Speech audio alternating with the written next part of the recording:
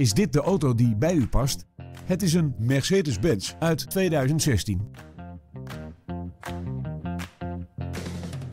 De aandrijving komt voor rekening van een dieselmotor en een handgeschakelde 6-versnellingsbak.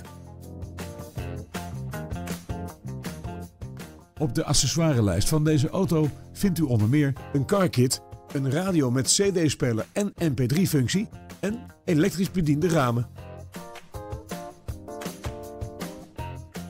De veiligheid van deze auto wordt verhoogd door ASR, een heel hold functie en ESP. Als u wilt, kunt u een proefrit maken met deze Mercedes-Benz. Bel ons nu voor een afspraak.